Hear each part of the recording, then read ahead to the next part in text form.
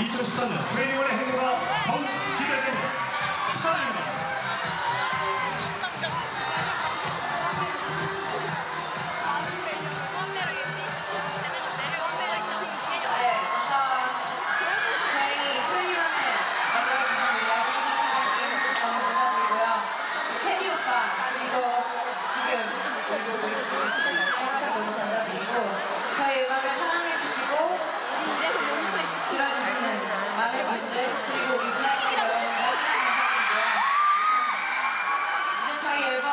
또 나오니까 많이 기대해 주시고 마지막으로 우리 멤버들 감사합니다. 감사합니다.